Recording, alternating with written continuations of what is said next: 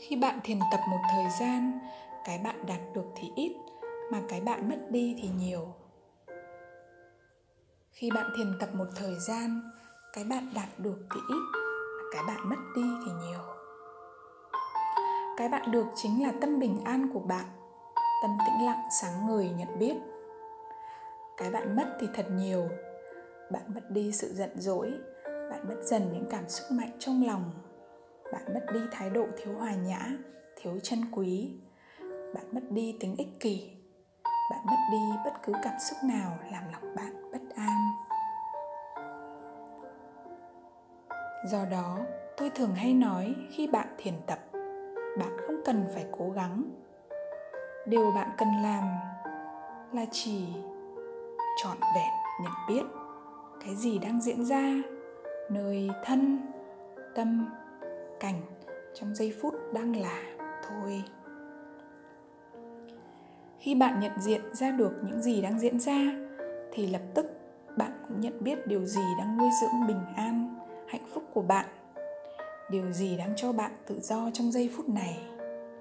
Và những gì ngược với điều này thì tâm thức tự động buông bỏ. Một sự buông bỏ diễn ra nhưng không có người đang buông bỏ. Bạn không có ở đó chủ động để buông bỏ. Tâm thức chính nó tự biết những gì nên buông và những gì tiếp tục. Bạn chỉ có mặt ở đó và quan sát, nhận diện tiến trình buông bỏ diễn ra. Các mối quan hệ mệt mỏi, căng thẳng tự nó rời bỏ. Những cuộc vui hời hợt bên ngoài tự nó rời bỏ tâm thức lúc này giống như đôi bàn tay bạn đang nắm cùng một lúc rất nhiều thứ.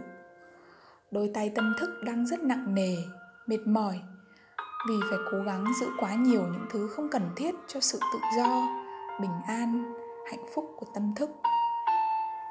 Và bây giờ ta có thiền tập, ta biết trở về trọn vẹn nhận biết, nên tâm thức bắt đầu thấy ra bao rắc rưởi của mình đã ôm đồm vào trong tay suốt thời gian qua thế là tự động, sự thanh lọc bung bỏ diễn ra, đến khi đôi tay trở nên trống không, đôi tay tâm thức trở nên tự do.